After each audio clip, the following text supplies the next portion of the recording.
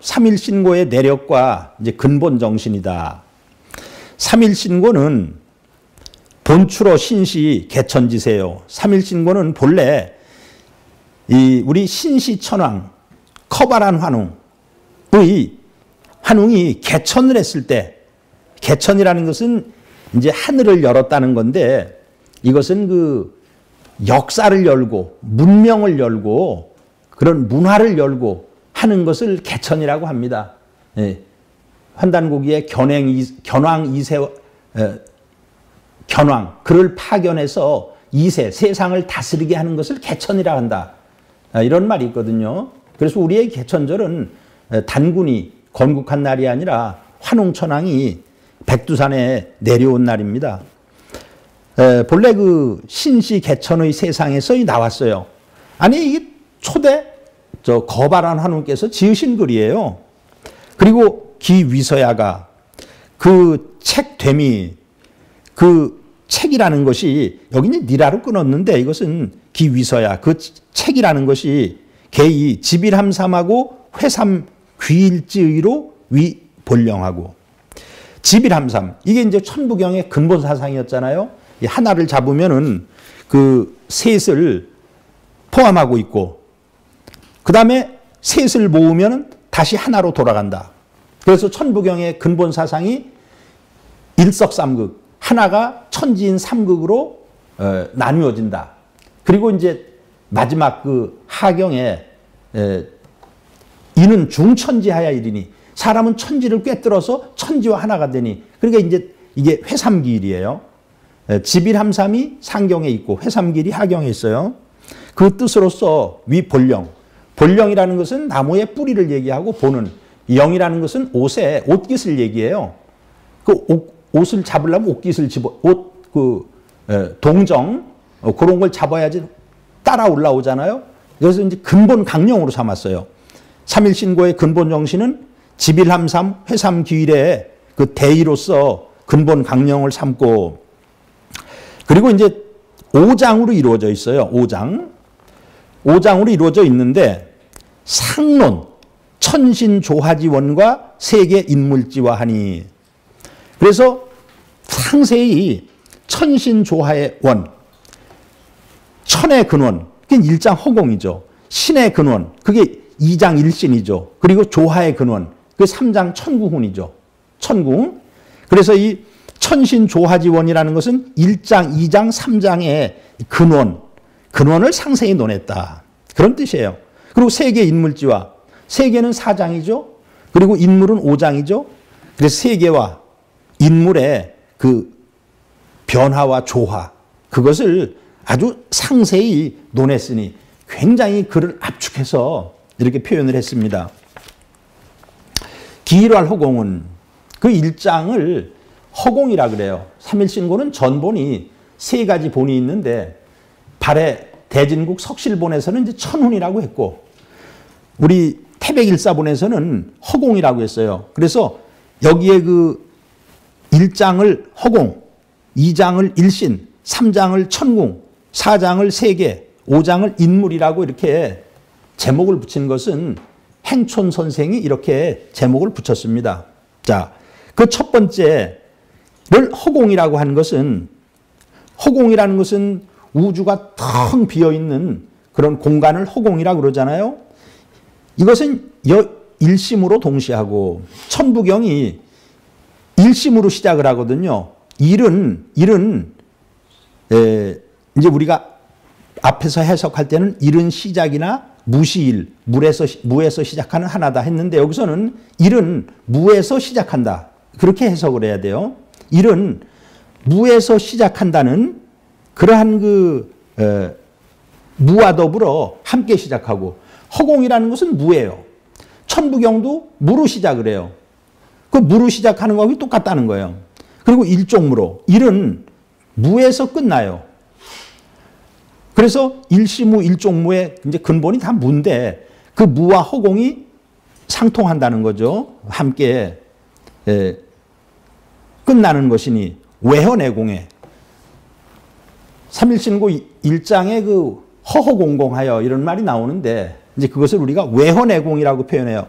바깥을 보면은 텅 비어 있고 안을 보더라도 물질로 되어 있는데 사실은 그것이 예, 텅 비어 있다. 외호 내공의 중유상야라. 요건 이제 해석이 굉장히 많은 생각을 하게 됩니다. 음.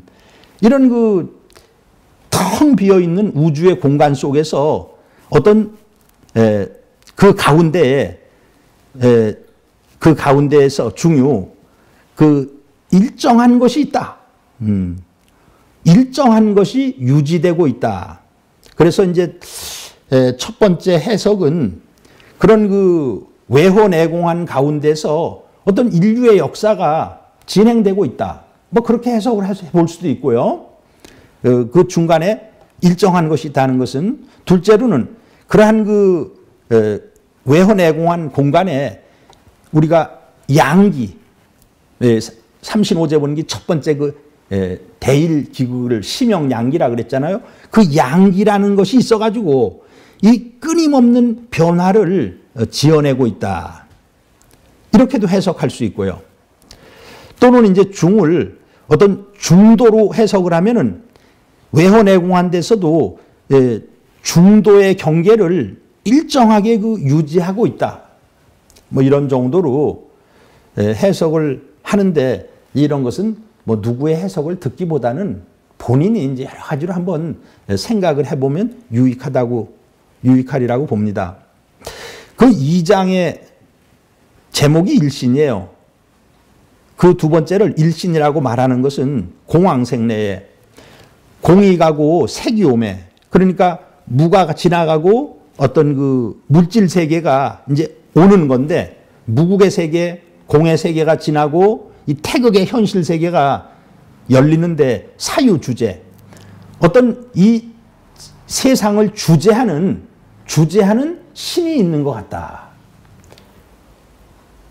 우리가 말하는 삼신일체 상제님께서 우주를 주재하고 계시죠. 그 주재자가 있는 것 같으니 삼신 위대나 삼신이 위대한데 제실유공이라 그랬어요.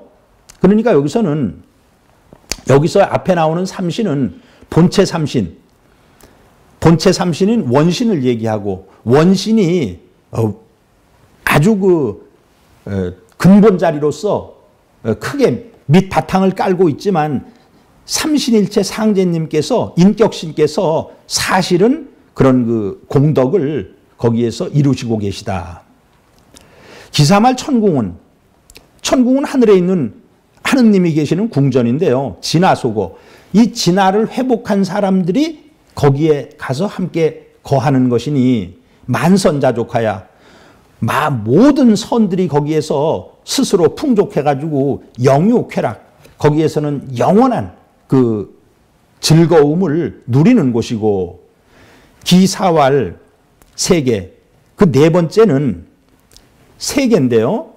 중성속이라니 이 지구를 중심으로 해서 이제 떠 있는 우리가 보이는 대부분의 별들은 그것이 태양에 속하고 있으니 유만굴려의 대덕이 시생냐고 요것도 이제 해석이 좀 쉽지 않은데요. 첫 번째 해석은 유만굴려 모든 그 만물의 그 무리가 만물의 무리라면 여기에 뭐 동물, 식물 음, 이런 것들이 대덕이 그들의 큰 대덕이 이것이 생하게 하는 것이다. 이것이라면 태양에서 나온다는 거죠.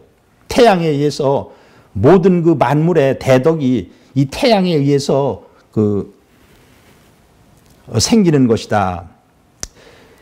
그 다음에 이제 이 세계는 첫째는 우주를 얘기하다가 두 번째는 이제 태양을 얘기하다가 그 다음에 이제 마지막에 지구를 얘기하고 있거든요. 그래서 이 지구적인 관점에서 보면은 어떤 그 모든 그 만백성의 그 대공덕이라는 것이 이 지구에서 지구에서 이루어지게 되는 것이다. 뭐 이렇게도 조금 해석을 해볼 수가 있습니다. 기호할 인물은 그 다섯 번째 장의 이름이 인물인데 그럼 인물을 하나 더 집어넣어야 돼요. 인물이라는 것이 인물이라는 것이 동출 삼신하니 함께 삼신에게서 나왔어요. 인간과 만물이 삼신에게서 나왔으니 귀일지 진이 그 하나로 돌아가서 삼진을 회복하는 것이 시위 대하이 아니라 그것이 대하가 되는 길이다. 우리 몸에는 에, 조하신, 교하신, 치하신 그 삼신에 의해 가지고 성명정이 우리 몸에 상단전, 중단전, 하단전에 자리를 잡고 있거든요. 그런데 그 상단전, 중단전, 하단전을 다시 그 개발을 해서 회복하면 그것이 이제 삼진으로 돌아가는 길이에요. 그러면 그것이 대화가 된다는 겁니다. 세호, 세상에서 혹자는 말이에요. 혹은 어떤 사람은 이런 뜻이에요. 혹이라는 것이 혹시 이런 뜻도 있지만 한문에서는 어떤 사람은 이런 뜻이 있어요. 세상에 어떤 사람은 이 삼일신고를 가지고 위 도가 초청지사하니 그 도가에서 그 초라는 것은 제사 지낼 초자예요. 그 근데 이제 제사를 지낼 때 축을 쓰잖아요. 그러면 푸른 종이에다가 붉은 글씨로 써요. 그래서 이 초청이라는 것은 도가에서 제사를 지낸다는 뜻으로 쓰이고 있어요. 도가에서 그 제사 지낼 때 하는 그 말이다. 하는 말이라고 하니 이건 심오이라 아주 잘못된 거다. 이건 정말 잘못된 거죠.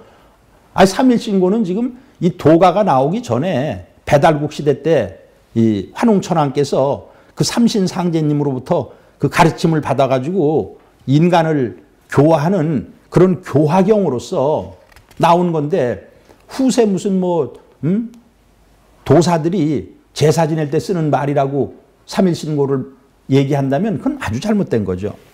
오한국은 우리 환국은 에, 아주 그 오한국이라면은 이제 우리 한민족의 어떤 역사 전체를 그냥 환국이라고 표현을 했어요. 우리 환국은 자 환웅계천으로 환웅천왕께서 역사를 열무로부터 주제 천신하시며 그 하늘에 계시는 천신 하늘에 계신 하느님을 제사 지내는 것을 주장을 하시며 조술 신고하시며 삼일 신고를 근원으로 삼아 가지고 기술을 하였으며 회척 산하하시며 산하를 널리 개척을 하셨으며 회는 넓을 했자요.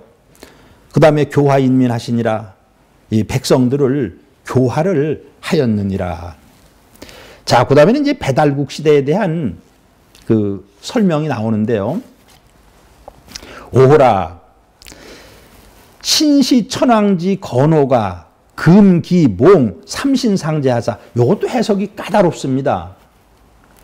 신시 천왕의 건호 그러면은 신시 천왕이 하면 초대 거발한 환웅을 얘기하잖아요. 배달 환웅 초대 환웅 배달국 시대의 초대 환웅을 얘기하는데 신시천왕의 건호 그러면은 호를 세우는 것이 그럼 호를 세웠다는 것이 도대체 대상이 뭐냐?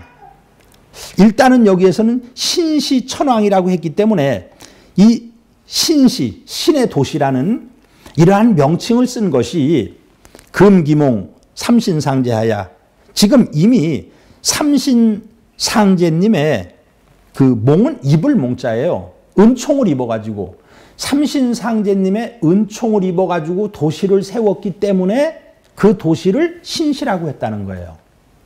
그래서 저는 일단은 내용 그대로 신시 천왕께서 그 신시라는 신의 도시라는 디바인 시티라는 그러한 그 명칭을 쓴 것이 벌써 이미 지금 이미 삼신상제님의 은혜를 입어가지고 도시를 건설했기 때문에 그러한 그 신시라는 명칭을 썼다. 이렇게 일단 해석하고 지나갈게요. 개 무량 홍조하시며 무량한 헤아릴 수 없는 복조자니까 홍복 큰 복을 열어 놓으시고 초무웅호하사 웅족과 호족을 그들을 불러가지고 어루만져 가지고 이안 사해하시며 온 그 사해를 온 천하를 원래 사해라는 것은 중국에서 동서남북이 다 바다로 되어 있다 그래서 온 천하를 그냥 사해라는 평, 명칭으로 씁니다. 온 천하를 편안하게 하시며 상위 천신하사 위로는 천신을 위해서 요때 위는 위할 위자예요. 위로는 천신을 위해서 개 홍익지 하시고 홍익 인간의 대의를 내 것이고 이 걸개자거든요. 우리가 국기를 개양한다 할 때 걸개자 홍익 인간의 대의를 이렇게 내 것이고 하위 인세하야 아래로는 인간 세상을 위해서 해 무고지원하시니 그 고할 길이 없이 원통한 사람들을 전부 예, 해원을 해 주셨으니 풀어 주셨으니 어시에 이에 인자순천하고 그렇게 환웅천왕께서 훌륭하게 정치를 잘하시니까 사람들은 스스로 그 천리에 순응하고 하늘의 뜻에 순응하고 세무 위망하여 대대로 거짓되고 망명된 행동이 없어가지고 무위자치하며 인위적으로 다스림이 없지만 저절로 잘 다스려지고 무언자와 말로써 이렇게 해라 저렇게 해라 이렇게 말이 없지만 저절로 잘 교화가 되며 속중산천하야 그 풍속은 그 산천의 요건 경계를 중시했다는 하고 봐야죠. 그 자기가 사는 마을, 자기가 사는 소국, 작은 나라, 그럼 경계가 있잖아요. 그런 산천의 경계를 중시해 가지고 무상 침섭하며 서로 서로 그것을 침범하거나 또는 간섭하거나 뭐 그러지 예, 안 했으며 이게 이제 책화제도죠. 귀상굴복하야 상대방에게 굴복하는 것을 귀하게 여겼다. 지는 것을 예, 귀하게 여겼다는 거예요. 꼭 이기려고 들지 않고. 어, 그냥 사형식, 영어의 사형식 문장으로 보면은 상대방에게 이 굴복하는 것을 아주 그렇게 귀하게 여겼으며 투사구급, 하며토로 바꿔야 될 것 같아요. 어떤 위급함을 봤을 때는 자기의 죽음을 던져요. 자기의 생명을 던져. 자기의 생명을 던져가지고 그 위급한 상황을 구원을 하며 그러니까 뭐 나라가 위태롭다거나 뭐 불의한 일을 본다거나 하면은 생명을 초계같이 버리고서 그 위급한 상황을 구했다는 겁니다. 기균 의식하고 우평 권리하며 이게 이제 이미 기자가 나오고요. 또 우자가 나오잖아요. 이게 영어의 not only but also의 해석이에요. 이미 뭐뭐실 뿐만이 아니라 또한 뭐뭐하다. 이미 의식을 고르게 했을 뿐만 아니라 또한 이 권리, 모든 백성들의 그 어떤 권익과 이익과 또는 뭐 음? 권세와 이런 것을 고르게 평등하게 했으며 동기삼신하야 똑같이 임금부터 백성까지 삼신상제님께 귀의해서 교환 서로 서로 사귀면서 서로 서로 기뻐하는 거예요. 음? 서로 사귀어 어, 즐거워하고 또 서원하며 이것은 삼신상제님 전에 자기의 소원을 어, 빌고 맹서하며 화백이공하며 화백제도를 가지고 공도로 삼았어요. 화백제도는 여러분들이 그 신라 시대 때 회의를 열면은 만장일치제 회의를 화백제도라고 합니다. 그런 만장일치제의 그 화백제도를 공도로 삼으며 책화보신하며 책화제도를 통해 가지고 신의를 보존하며 책화제도라는 것은 마을의 경계라든가 어떤 소국의 경계가 있는데 그것을 침범을 하면은 어, 네, 포로라든가 노예라든가 가축 등으로 어, 보상을 했던 그런 제도를 책화제도라고 합니다. 그러니까 이런 책화제도가 배달국 시대 때부터 내려왔고 화백제도도 이 배달국 시대 때부터 있었다 하는 것을 알 수가 있어요. 통영 역사하야 요건 좀 해석이 어렵습니다. 소통할 통자 힘력자, 바꿀 역자 일사자 요건 이제 이사라고 읽지 않고 역사라고 읽어야 돼요. 우리가 이거 요건 시우리 바꿀력 요것은 맹자 등문공 장구 사장을 보면은 맹자가 이제 그 통공 역사라는 말을 해요. 통공 역사. 그래서 그 똑같은 말인데 거기에는 그 예, 공공자, 장인공자, 힘력사 쓴 그걸로 되어 있는데 여기는 힘력자로 바꿔놨어요. 내용은 똑같습니다. 통력 역사라는 것은 자기가 힘들여, 힘들여서 만든 물건을 교환하는 거예요. 통력이라는 것은. 물물 교환하는 거예요. 그리고 역사라는 것은 결국은 에, 분업을 하는 거예요. 분업을. 어? 일을 바꿔서 하는 거예요. 음. 나는 농기구를 만들고 어, 당신은 뭐 농사를 짓고 서로 교환해서 농부는 농기구를 받고 또 그 농기구를 만든 사람은 곡식을 받고. 자 통역 역사. 그래서 통역의 역은 자기가 힘들여 말, 만든 물건을 그 물물로 교환을 하고 그리고 에, 분업을 해가지고 서로 일을 바꿔서 하며. 그래서 그 뒤에 이제 분업상자라는 말이 나오거든요. 분업을 해가지고 서로 서로 도와주며 사람은 한 사람이 세상 모든 일을 다 할 수는 없어요. 분업을 해야 됩니다. 분업을 남녀계유 직분하며 남자와 여자들은 모두 직분이 있어요. 자기 직책상 해야 될 그 분수가 있으며 노소 동양 복리하야 노인이라든가 어린애들은 좀 복리해서 소외될 수가 있는데 노인과 어린애들까지 이 복리를 함께 누리며 누려서 이녀인이 무상쟁송하며 사람과 사람이 서로 다투거나 송사하는 것이 없으며 국여국이 무상 침탈하니 나라와 나라가 서로 서로 침략을 하거나 또는 그 나라를 쳐들어가서 빼앗는 것이 없었으니 시위 신시 태평지 세안이라 이것이 우리 배달국 시대 때 신시 시대 때 태평한 세상을 이르는 것이니라.